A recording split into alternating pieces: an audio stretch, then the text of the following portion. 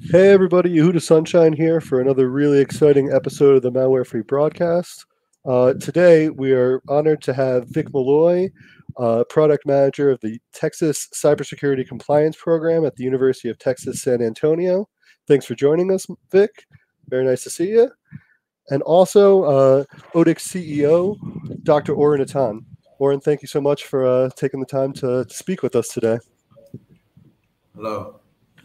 So we are gathered here today to speak about something. Yeah, you thought it was holy matrimony, right? To speak about journeys in cyber education, guiding digital immigrants and digital natives. And what, what I think is really fascinating about this conversation is Vic and, and Oren both have extensive military cyber experience and then have transitioned this experience to, to mentor the next generation, in Oren's case in the private sector, and in Vic's case uh, through university cybersecurity education programs. And I think that it's really, it's going to give us a really good opportunity to discuss how this experience can impact the next generation and how the these different touchstones have been able to to shape and guide their lens in being able to to guide the next generation of cyber professionals.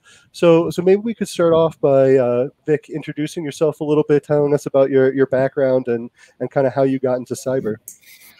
Sure thing. And first and foremost i want to thank you and your fantastic uh, uh, audience and staff for allowing me this opportunity to share my experience and my journey uh, from failure to success, I would say, because I pretty much failed my way to success, as as some would say. But uh, prior military, uh, joined in 1987, eons ago. Uh, before it was a good year. I remember being cyber. born then. exactly. so that's when I started my journey. Um, it was when we had the uh, the trash 80s from from from Radio Shack, uh, and we were using those as word processors uh, for supporting our military operations. And and here we are, you know, fast forward 2021, uh, cyber is now its own command and uh, running full spectrum capabilities. Um, had the opportunity to uh, once again be in the Air Force. Conclude my career uh, as a information technology director for the National Security Agency here in San Antonio, uh, overseeing full spectrum operations and then transitioning into the initial uh, stand up of Air Force Cyber and then transitioning uh, in a role to be a battle manager uh, with the United States Cyber Command and uh, retiring in 2015 and figuring out, okay, Vic, now you got to grow up. What you gonna do next?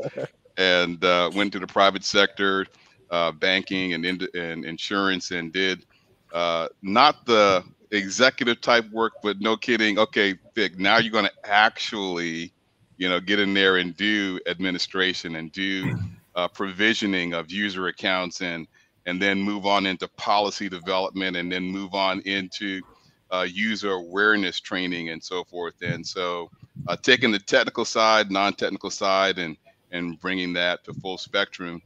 Uh, while I was doing that, uh, someone said, "Hey Vic, there's a nonprofit, uh, Cyber Texas Foundation, and their focus is the next generation."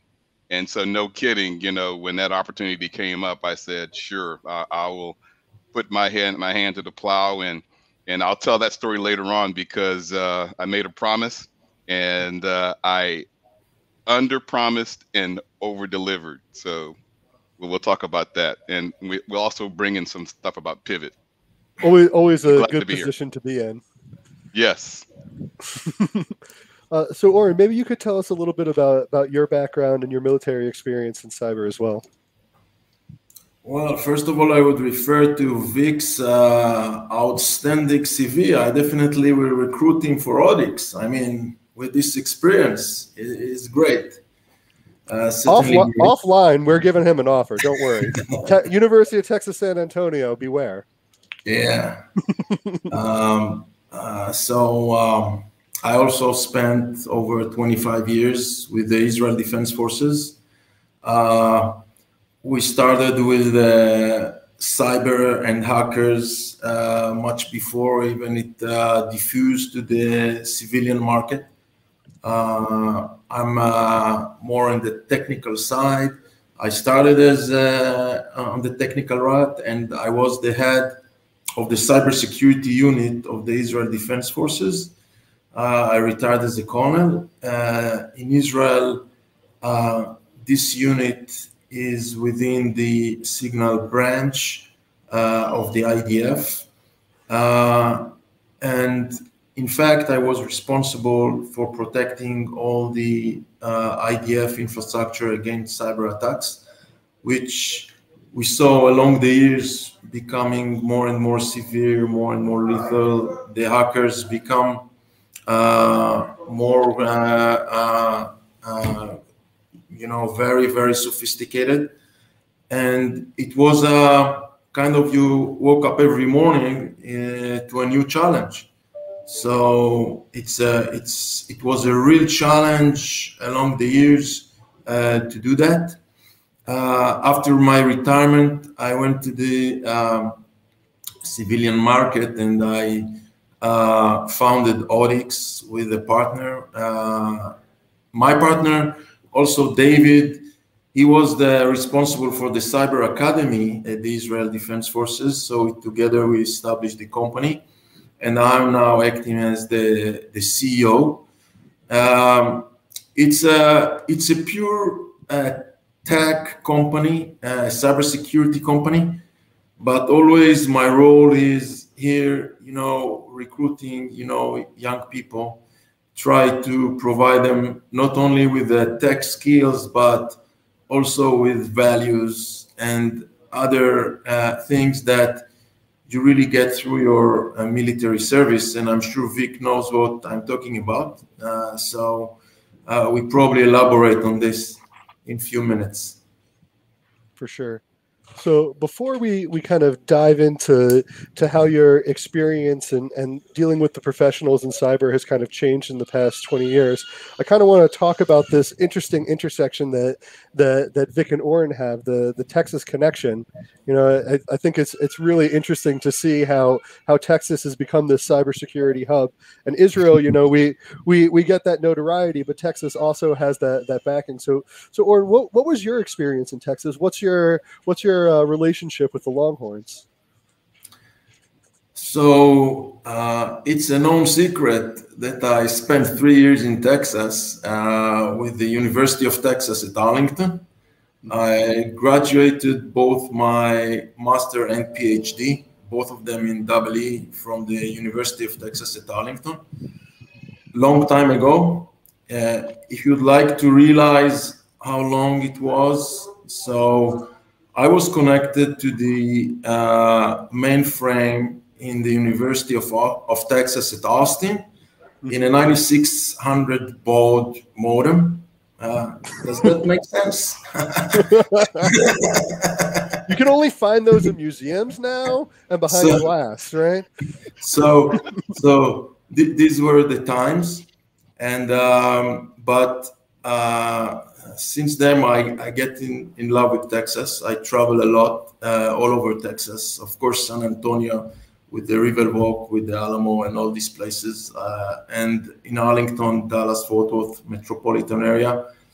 It's it's a great state, uh, and I love the people. Um, even the the picture behind me is uh, is from Texas with a, a, very nice story behind it. But Yuda, just if you allow me to to tell the story, if you I, have I, time, I, I will hum I'll humor you, but just because it's our own broadcast, I would have to cut you off maybe somewhere else. But I'm going to give you I'm going to give you two minutes, Oren. Okay.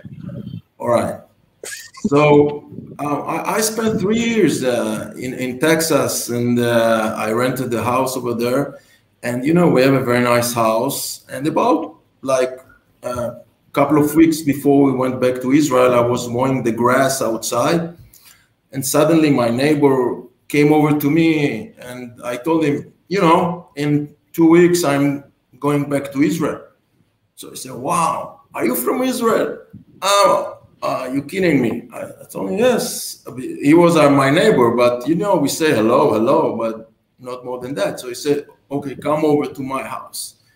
I came over to his house, and it turned out that he's a painter, and he paints all the landscapes from Israel. the Holy Lands for both the Judaism and Christianity, and uh, Jerusalem and uh, Nazareth and uh, all this. And he told me, you know what, pick every picture you want. And I picked the picture behind me because, you know, it's not from Israel, it's from Texas. You know, I should come back with a picture from Israel. I mean, I have it all the time. So, so this is a nice story for, you know, my my time in Texas and uh, really, really great experience. I revisited many times afterwards and uh, uh, really look forward to working with the, the University of Texas San Antonio and with Vic and his guys. So, so Vic, I got okay, to. So, so, since, so since so since you're telling Texas stories, I got to tell my Israel story. so uh, I've made several visits to Israel, and uh, I love the land. I love the people. Love it so much that when I went to uh, Zvat, uh, which is in the northern uh, area, uh, my wife and I now have the Shema as our wedding band. So, uh, so we, we we definitely so so I got my Israel connection right here. I don't know what's more impressive, the the Shema and the wedding band, or your pronunciation of Svat. Two points to Vic. TZF is Oh, one of those things that's know. hard for, for non Israelis for some reason. I don't know why it doesn't translate so well. yeah and and and oh by the way still still um you know feeling the hurt from this year's loss that happened uh, uh during uh shimon bayet uh Bar Yochai's uh celebration and the loss there. Uh it it did not go lost on us here in texas at least in in my community. And uh we we wept. It it, it really hit us to the to the heart uh, that during that celebration, especially coming out of this COVID uh, and the time of joy and celebration and, and people wanting to get together, that uh, this tragic loss happens. But uh, but anyway, uh, more more joyous times. Uh, you know, going to King David Citadel and and kicking back there, going like, you know, this is you know the place to be on planet Earth and and that's even after coming back from South Africa, you know, about about a month ago with my family. Um, I, I, you know, Israel is near dear in our hearts. So old city lo- lo- love the with Texas connection, but I think the Israel connection is even more. Say again. Oh, I'm glad to see that, that the old city can compete with sharks. You know, No. South Africa, we've all seen the David Attenborough, but the old city and, and Jerusalem, it's a different energy. Not Right. quite not quite the same intensity, similar. Um, Right. just to just to bring it back to, to the Texas connection, how did you get connected with uh, University of Texas San Antonio? What what was so interesting about the program that that drew you in, and what do you think that that, that people can really see there? Because we we learned that Oren, you know, 20 years ago already saw that that seed of, of the, the University of Texas system being able to to bring this innovation and bring these skills. What have you what have you learned in your experience in the past few years? Right. So basically, back in about 2001, 1999, uh, I call that the digital divide between the digital immigrants and digital natives. We were talking about information assurance. So uh, some visionaries, uh, Joe Sanchez and others, said, you know, we've got this university here in San Antonio, University of Texas uh, Systems. You know, what can we do to uh, bring an academic rigor to uh, solidify our practices for infrastructure assurance, cybersecurity, or, or uh, systems uh, security at that time, information technology. You know, we need a program of study. And so eventually, you know, fast forward to where we're at right now, uh, San Antonio, uh, the University of Texas San Antonio, is one of maybe five universities that is a center of academic excellence certified by the National Security Agency and Department of Homeland Security in five subject matter areas uh, dealing with cyber proficiency and competency to not only give you a certification, but to really dig deep into researching how to uh, address, you know, the threats that are in our landscape, how to address even now, uh, when we're looking forward, uh, advanced uh, artificial intelligence and machine learning, and how do we take data science and then apply that to where we've been in the past with information assurance, cybersecurity, and look at the complexity of all the operating systems that are out there because we know that with every new operating system, there are multiple lines of code that are being involved with that. And with every line of code, there is a chance of a vulnerability being exploited. So, how can we use artificial intelligence? How can we use machine learning? How can we research and look forward to making the environment much more secure than what it is today? So, that's one of the things that drew me uh, to the program of study uh, the organization, the faculty and staff, they've done cluster hires from around the world to bring the brightest minds to solve these complex issues. And uh, right now, we're in the middle of the final stages of our new complex in our downtown campus with the National Security Collaboration Center that's co-located with our School of Data Science. And it's a brand new, a brand new facility and structure that will, on the bottom level, have a gateway. And so when you come to San Antonio on the Riverwalk, you'll be able to walk inside and see this, you know, tremendous open space that will invite you into what it is to uh, explore information security, information technology, science, data, you know, uh, bricks in a loop, cyber, and so forth. Mm-hmm. To take those digital natives by the hand uh, with some digital immigrants. So if you want to know that, that divide is, remember the movie mm-hmm. Matrix? if you were born before the oh, Matrix, oh, oh I, I, I, re- I remember be, those. you might be a digital immigrant, but uh, if you are if you're born after the Matrix, you are no doubt a digital native. So you didn't have a choice between the two; you were already in there. So we just have to build a, a, a strong bridge between them. So that's what drew me to the university. That, that's fascinating. So that, that really gives us like a, a great transition to our next point. I, would love to hear how your experience, you know, 15, 20, 30 years ago, you know, understanding cyber and trying to, to put context to these ideas and these technologies has changed versus now you're more in the driver's seat you you've seen it you know in the in these very difficult situations in the military and you're trying to give it over to the next generation how has this experience shaped your mentorship? How has it shaped your your prioritization of skills? And how do you approach somebody now differently than you might have done it you know when when you were in the military or you were kind of in in this different different seat in your in your previous career? So maybe maybe Oren maybe we could take it from here.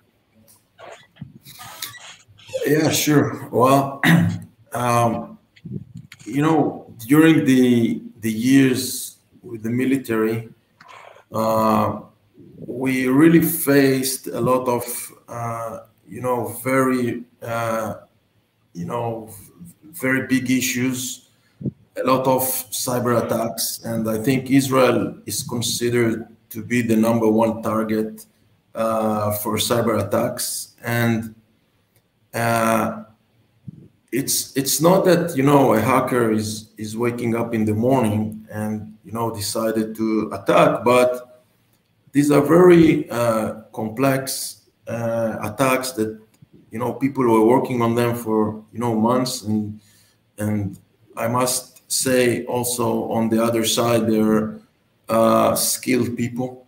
Uh, so what what we learned and is that it's a day by day uh, war and it's a day by day challenge. But more of that, I think that the conclusion is for for cyber security. Uh, and this time we also hear about you know the cyber you know NSO and other cyber, but we are cyber security and protection that you should always, you know, try to be uh, a step or two step ahead of of your uh, uh, attacker. And by having said that, it's it's it's a lot of things involved with it and uh, a lot of activities associated with it.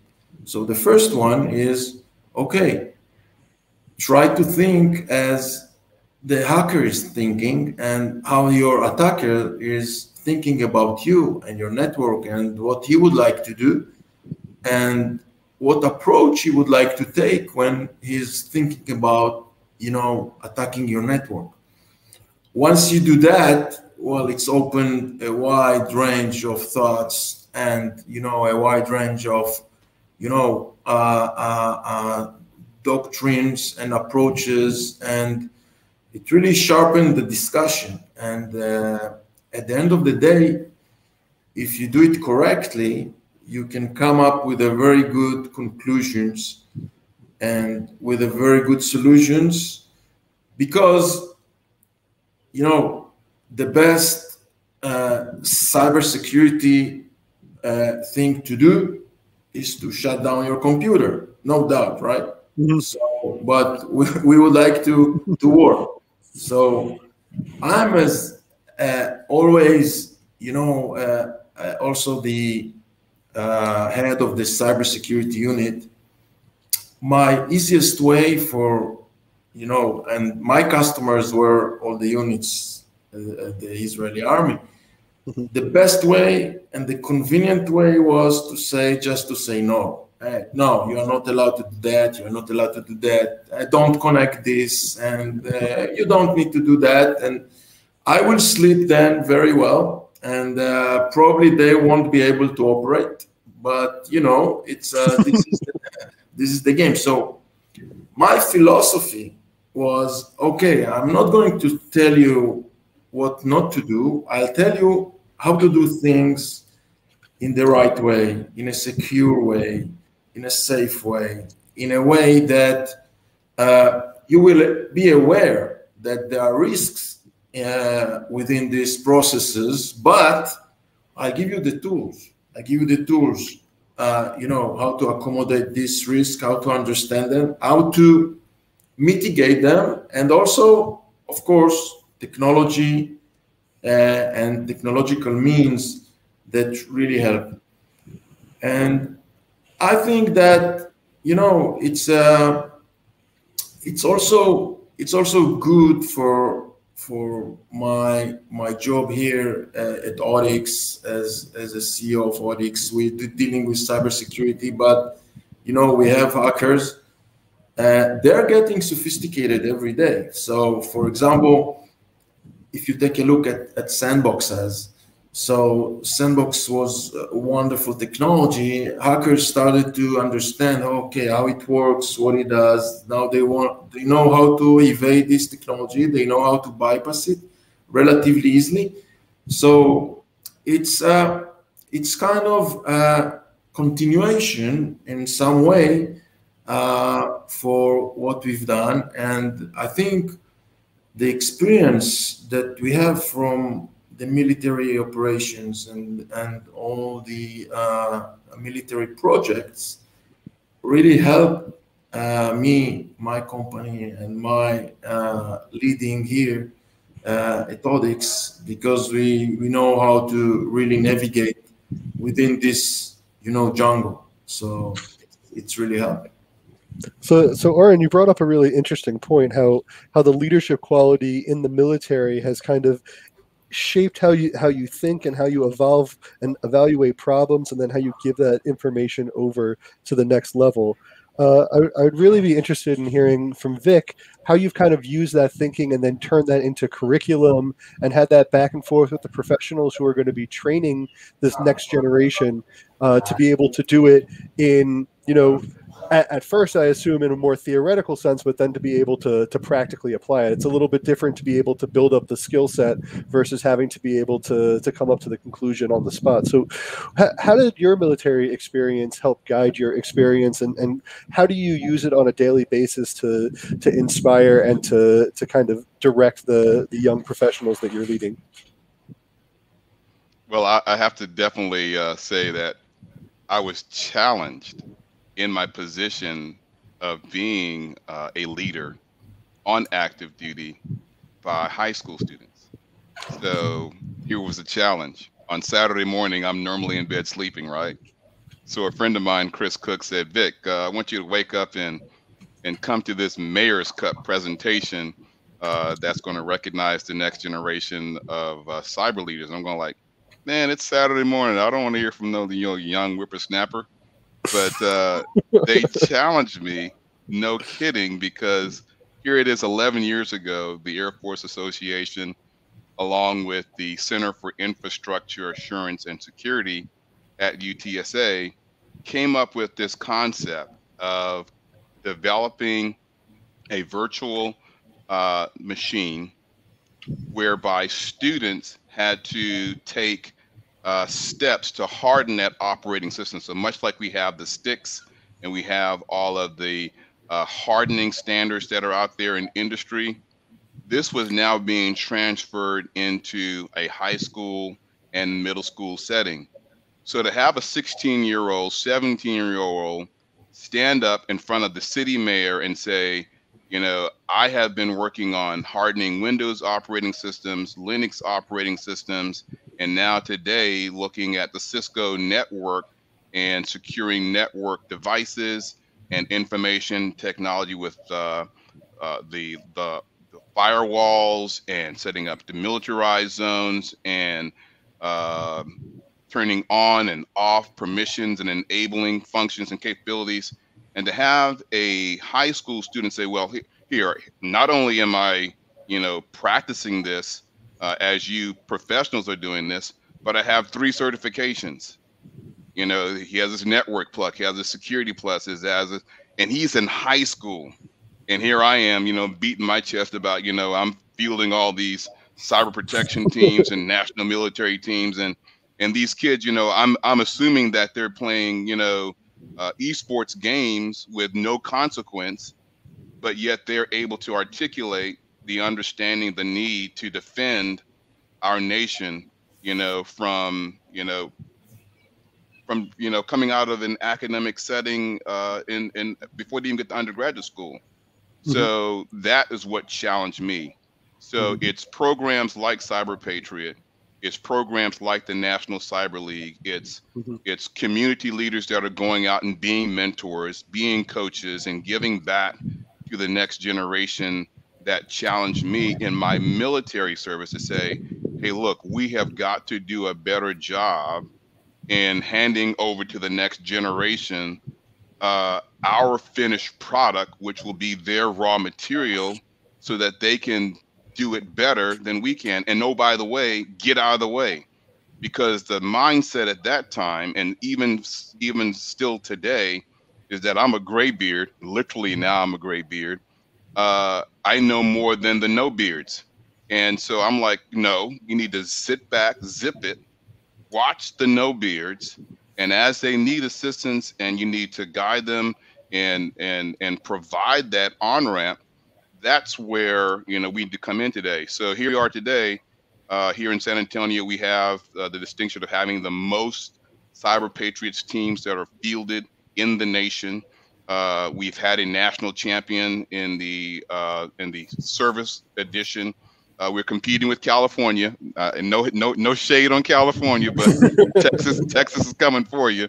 But you know, it's just so exciting to see uh, young leaders that are being inspired by gentlemen like Josh uh, Josh uh, Beck and Frank uh, uh, Frank Hall. You know, these are professionals who are now going back into the classroom and just really challenging them so much so that in some cases we have high school students who are going into middle school and mentoring middle school students and teaching them the tactics, techniques, and procedures that we showcase and talk about with the MITRE ATT&CK framework. So to see that that transition, to see that change, to them taking the baton, and like we're talking about the Olympics, you know, wow, we have we have some Olympians right mm-hmm. now thinking about explaining the MITRE ATT&CK framework to a middle schooler and being able to have the relationship and the context it's amazing. It's amazing yeah. to be able to break something down so granularly and understand how that's laying the foundation for their broader understanding of the attack surface. I think that's really cool. Right. Um, and, and, and I, we have high school that are actively doing it right now. And mm-hmm. they're not, not only here in Texas, but around you know around the world, and at least in, in around the United States that, that I've mm-hmm. seen. But it's very exciting. Yeah, it sounds very exciting. And this really brings me to my next question. I, I wonder what the relationship and the and the the balance of responsibilities between the the university system training young professionals and private enterprise and startups and cybersecurity companies taking taking the reins.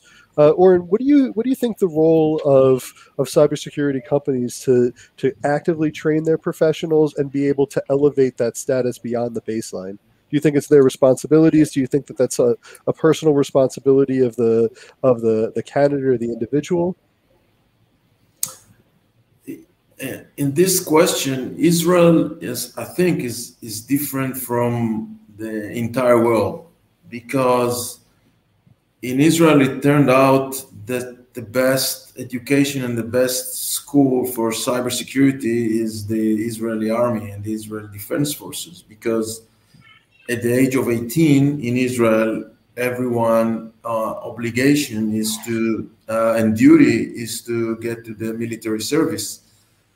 And you know these guys coming from high school and uh, you know most of them you know doing the the service and then go to the universities.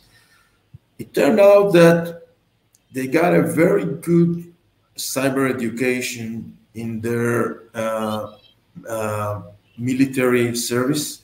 Uh, you could see a lot of startups companies initiated by uh, uh, people that graduated and you know from 8200 or from my unit that uh, was the cyber defense unit so uh, it also turned out right now and i'm not you know, reducing any value of the universities because I think, you know, people should go there. But, you know, some people see that, okay, I can, when I can get off the service, I, you know, I can start my startup and I can, you know, grow my startup and do money. Why, why do I need a first degree? And this is this is a real question because in the free market right now, uh, when you, you're looking for talents, you're looking for programmers, you said, okay, the, these are good guys coming from the, you know, out of the military. They know the, the, the best cybersecurity guys. I think that the universities and the academy has a great role in it because uh, all these guys that coming from, you know, the the military service they are great. And you know they are great hands-on and they can do everything you tell them to do. And you know they can penetrate everything that's moving and they can do whatever you like to do. But when dealing about a wide vision when you're dealing about understanding uh, the real basics and the sources of everything and really the, the, the task of the academy and the university is to teach you how to think and to provide you the tools that will be able you will be able you to think uh, better, understand better, and operate better. And I'm, I'm quite confident, you know, if you take a guy that comes from the Israeli, you know, military is an expert in cybersecurity in doing stuff, but you know, if you take someone that went through the academy and learn all the basic, uh, you know, either engineering or or computer science, and that have a very wide understanding, at the end of the day, uh, I think it's it will be beneficial for for these guys because it can provide them additional layer of thinking, uh, additional layer of understanding, and allow them to have a, a wonderful view. Of course, you can give me examples, you know, that people that, you know, without even a degree, I think Gil Shwed just finished his military service, established a Check Point and the rest is history, right? But uh, there's a lot of examples uh, for here and there, but in general, for the majority, uh, I think there's a, a, huge contribution for for academy universities and the tight relationship between industry, military, and academy. This this is the, this is uh, the, the real uh, challenge to make this uh, connection and to work together.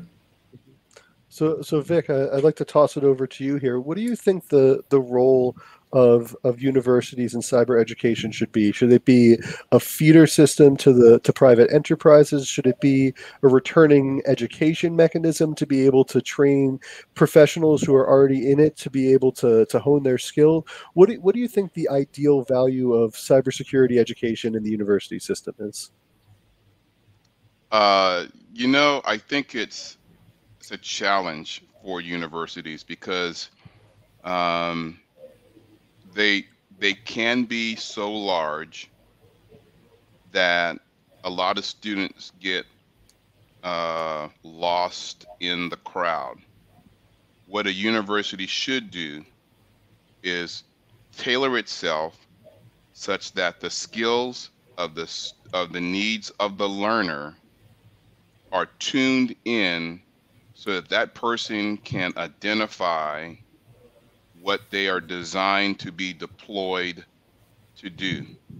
You are not designed to be deployed to be a cog in a wheel. And I think some of our learners think that that's why they're going to school is to to get the sheepskin to show that they have gone through a program of study so they can go into a corporation just to be a cog.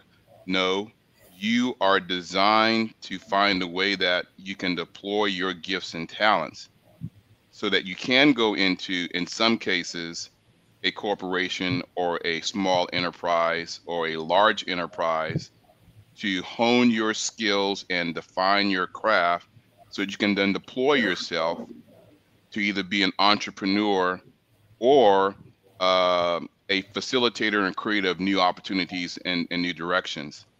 Um, I think we get too confined with the, the mindset that uh, a career is based upon working uh, 40 years, 20 years, and then retiring to get a retirement. Well, guess what? That is blown out of the water right now because I don't know of many uh, careers that will now set you up to where you work 20 years, 40 years for a, a given company and then, you know, parachute out unless mm-hmm. you're C level, C suite person.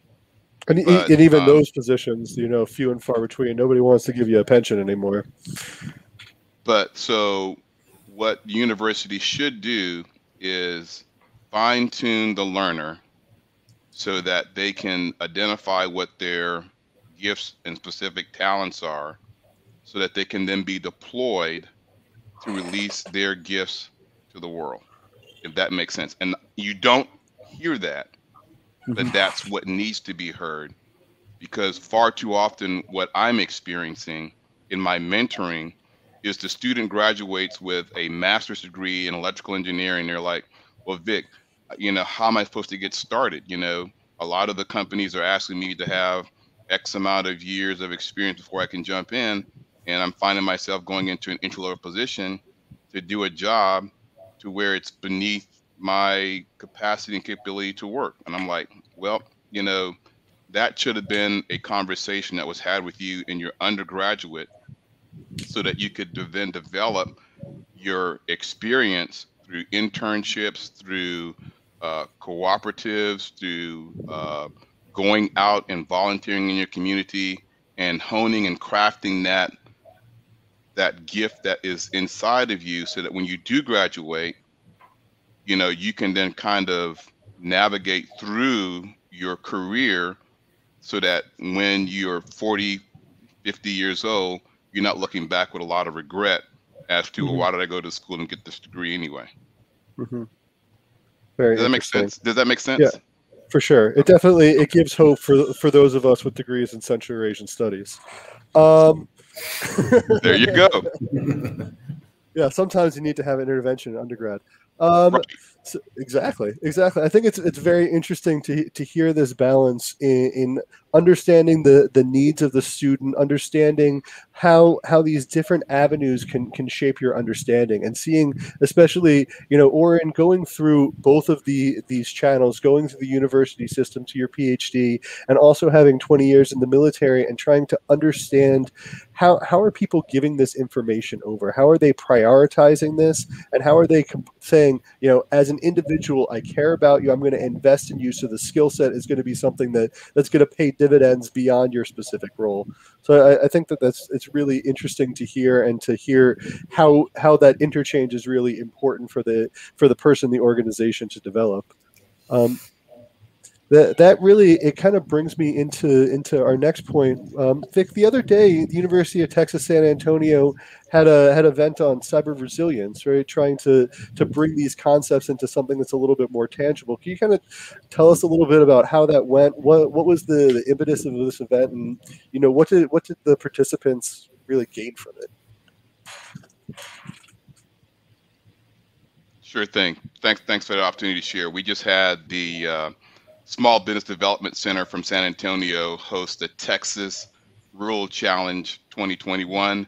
Uh, we took a break in 2020, obviously because of the global pandemic, but we did this a virtual event to address the needs of, let's say, those who were not in a urban or a city or a large populated section um, uh, arrangement. You know, they're out there doing energy and the in production? Or they're doing agriculture? Or they're doing non uh, i would say um, high population type you know cluster job things? They're spread out so it's rural. Mm-hmm. so the texas rural challenge allowed us uh, to work with economic developers uh, to address the issues that we um, experience with regards to cyber because cyber is out there uh, you have a lot of rural farmers who are using artificial intelligence and smart uh, smart devices to connect to the internet. You know, how can they do that safer and and more secure? So we hosted this event. We had, you know, representations from uh, small town uh, Texas and and then folks from uh, large large municipalities and working with uh, businesses to understand how they can get a paycheck protection loan and and how to address those challenges uh, that face them uh, that are just a little bit more challenging and unique than let, us say those who are in a in a populated setting. We did a session. Uh, Guy Walsh, who is the executive director of the National Security Collaboration Center, on a, an initiative to where we, we're working with small nonprofits, and faith based organizations to address their cyber resiliency. Uh, so we took MITRE, which is a uh, FFRDC led by Bobby Blunt, uh, who's our local uh, leader. And we had some mentors that were assigned to some college students to go into these faith based organizations, synagogues, uh, houses of worship, imams, and then these nonprofits that you know, support the community uh, in, a, in a generous way with little to no budget. But we did an assessment to say, you know, what is going on inside your community uh, that you may not know is a threat to you with regards to, let, us face it, the ransomware attacks that have been happening globally around the world. Last year, we had forecasted that in 2021 the damage due to uh, cyber attacks would be six trillion dollars. And when I was saying that during the pandemic, it was like want want want Charlie Brown. But now, after the the uh, the pipeline uh, shut down, after the food manufacturing shut down, and now this managed service provider that you know got attacked with you know uh, their their services to small businesses and rural communities now we're able to tell them, hey, look, even though you may have a managed service provider, you still have a responsibility and accountability to manage those end user devices and make sure that you're doing your due diligence to keep your uh, environment secure. We're in a remote work configuration. So my responsibilities here working from from home is, yeah, I'm on a browser right now. Ask yourself in the audience, have you updated your browser in the last month? There have been three updates on Google Chrome in the month of July. There have been 15 updates on the Apple operating system to date here in 2021. So the frequency and the intensities of updates and responsibilities of end users has increased, you know, quantum. So mm-hmm. we just can't assume away that your IT department is going to be that, you know, one-stop shop that's going to, you know, secure your environment, especially when we're looking to the cloud and and looking at, you know, how you can remote work from anywhere you still have a responsibility to secure that environment around you. So, like when I'm working from home, I shut my door and mm-hmm. I make sure that there's no one coming in uh, into the space without, you know, urgent need. You know, mm-hmm. every now and then, you know, the 14 year old comes in and wants a hug, but you know, I'm like, okay, you know, th- this this was not a good time. But you know, yeah. your your urgent need, like I guess, that. is a little so, bit more more strong on uh, on your end than it gets right, to be on right. Yeah, right. So I, would like to, to kind of uh, pass it over to, to Oren. Can you can you kind of give us your insights on, on cyber resilience, the the importance of, of, you know SMBs and these rural partners to be able to prioritize cyber on the same level that, that traditional enterprises and, and the big players do? Yeah, definitely, and and uh, I think I have a, a very good story about this uh, because if we go back to uh, 2019, uh, I approached the, the European Commission in the Horizon 2020 program. This is kind of prestigious program to uh, uh, promote a lot of technology in Europe and globally. And I told them, listen, over 90% of the world transactions are done by SMBs. Now, these SMBs you know they don't have as Vic said they don't have the awareness they don't have the capabilities to protect themselves. They they they don't understand in cybersecurity.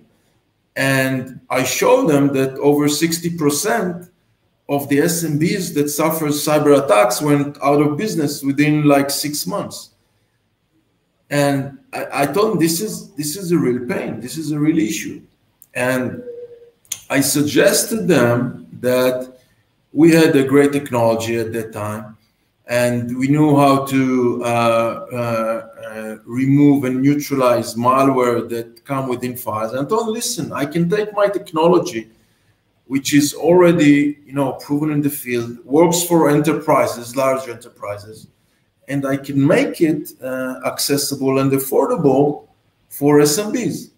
So first of all, they liked the idea very much, and we we awarded the grant of the 2 million euro and we were lucky uh, you know to be one of the few that got uh, this grant and we had a great program and this was the beginning and the launch of FileWall FileWall is firewall for files but Eh, this is the tool that is provided for smbs and when you think about smbs you need to think differently because SMBs, you know, they consume their, you know, IT services, the cybersecurity as services. You know, they don't want to mess with on-prem products, and you don't. They don't want to mess with, you know, management and so on. They would like to have someone like a managed service providers or a managed security service provider that will do the job for them and actually will make some of the tools accessible for them.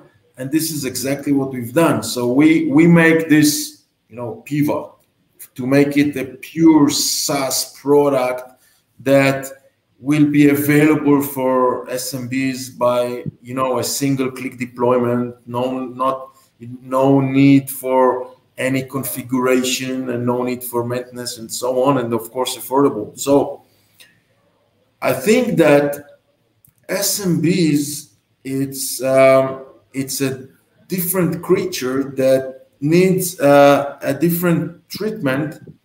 And you know uh, it's it's a mistake to treat you know all enterprises large and small and you know and very large enterprises and so on. In the same way you need to understand the on one hand you, you need to understand the pain of each sector but on the other hand you need to understand their capabilities. You need to understand uh, their uh, skills and their expectations. And at the end of the day you would like to align the expectations and this is the the name of the game to to align the expectations. So you know they'll get they feel safe and you know they know that they they are in uh, good hands. Very very interesting. So i'm going to uh to ask you guys for uh for your closing remarks before we uh before we wrap it up what do you I'll, I'll, switch it to, to vic here. What do you think the the most important thing in cyber education moving forward is? What what should somebody be focusing in on when they're looking for a, a cyber education program? What's the thing that, that's going to drive them?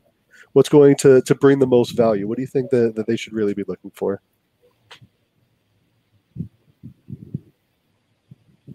Wow um it depends on the individual.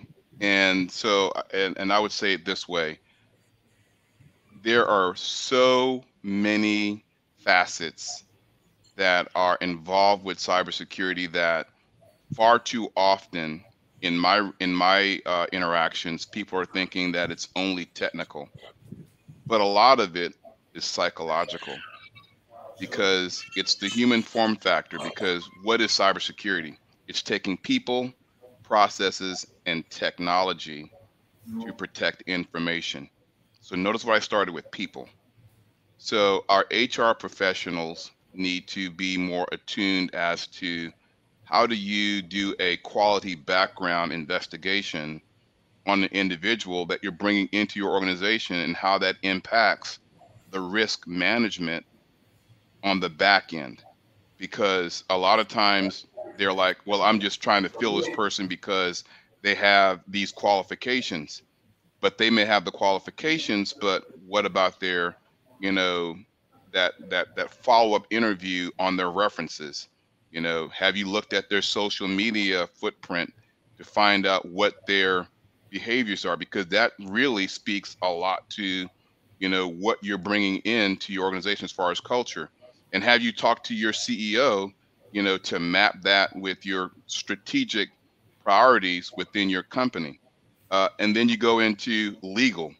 Uh, I talk with small businesses all the time. I say, you know, as part of your disaster recovery plan, as a part of your cyber resiliency, you need to have a strong relationship with someone who is a legal subject matter expert in the area of privacy, in the area of data, in the area of cyber and information technology, so that they can give you sound counsel and and uh, and, and insight as to how you protect that information and how you communicate because there are liabilities, especially now with GDPR, which is the General Data Protection uh, Regulation in Europe, that treats privacy as a human right.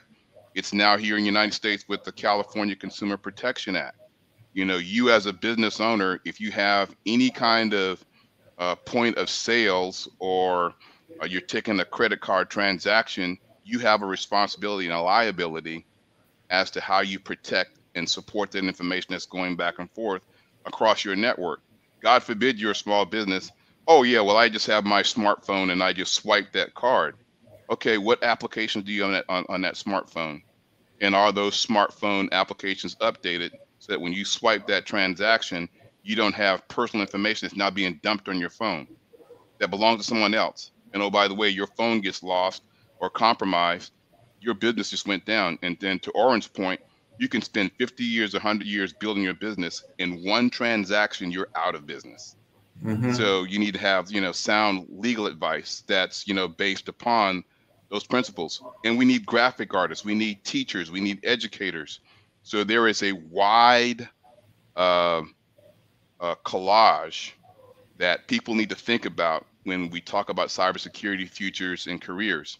Uh, we need, you know, uh, gamers that can, you know, take games like Watchdog. I mean, when that game came out, I was like, dude, if you're a Watchdog gamer, you know, hey, look, we want you, we need you.